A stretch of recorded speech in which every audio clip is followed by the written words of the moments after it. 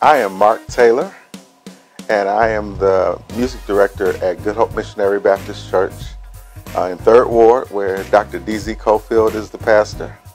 I like Good Hope because it feels like family. It's a pretty large church, but uh, there's so many relationships there, and I love the fact the church is 143 years old, and there are people there who have been there that I've met that have been there all of their lives. So you have people in their 80s, 90s, and some over 100 that have been there forever. You know, so it's a real family-oriented church.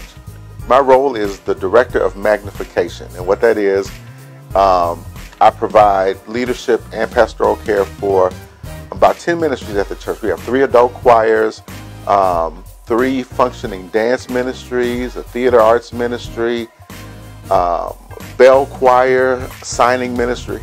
Beyond me feeling like it's my calling in life, I mean, I would do music even if I had to do it for free because it's just something that's in me. Uh, I think my role is important because I think it's good to have vision or purpose, and I think that good leadership uh, instills vision and purpose into the people that are under them so that uh, what God has called us collectively to do, we can accomplish.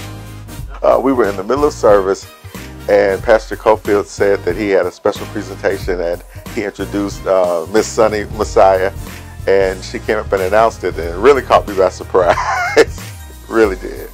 It's greatly appreciated. It's, I mean, it's always nice to know that the people around you see what you do and recognize it and appreciate it. So, you know, it's, it, it's a wonderful honor and I'm very humbled and appreciative. So my philosophy is that everything that my hands are able to do, everything that God puts in my heart to do, I'm going to work as hard as I can to accomplish it so that I can leave a legacy for people, so that I can leave something tangible for people to know that I've passed this way, and just to hear God say, well done. It worked for me. And, you're